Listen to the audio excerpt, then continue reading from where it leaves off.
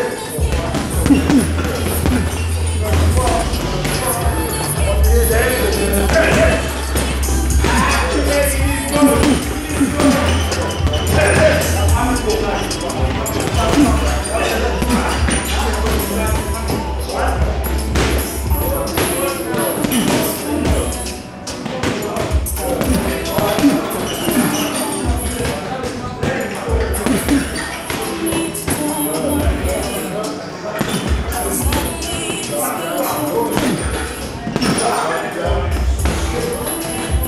Thank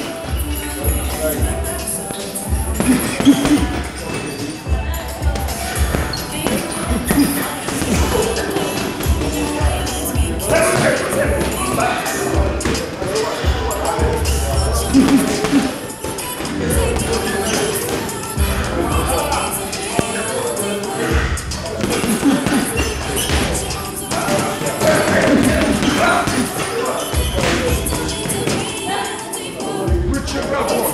That's good, man. Bless you. Training's going good, man. Just putting in the work. Isaac's got his fight coming up. I'm telling you. So he's getting, he's going through. If you check him now, he's dying, man. But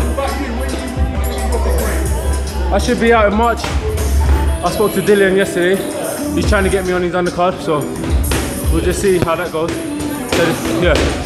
So he said he's going to speak to Eddie Hearn today. So at the presser with him versus uh, Luke Browne. So we'll see how it goes. Hopefully I get on there, showcase my skills. I'm telling you, yeah, 100% man. I'm going to show these guys, man. yeah. Yeah. I'm telling you, heating up. He's heating up. But, uh, I got that fight. I got a fight. That fight. I, I got offered that fight for probably like 10 days, like about a month ago.